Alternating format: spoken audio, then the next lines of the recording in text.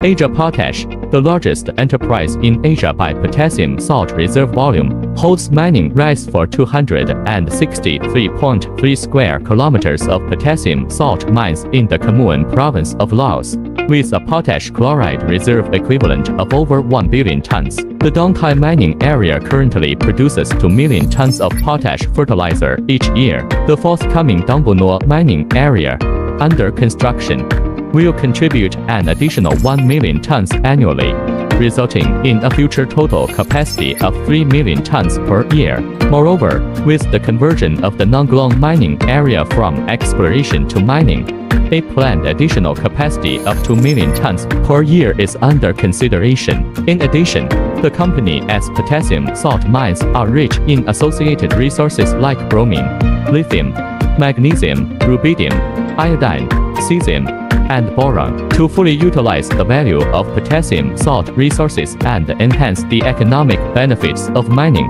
The company is focusing on the potash fertilizer industry and expanding its industrial chain. It has established bromine and chlor-alkali industries and is progressively implementing synthetic ammonia, compound fertilizers, flame retardants, and industrial salt industries.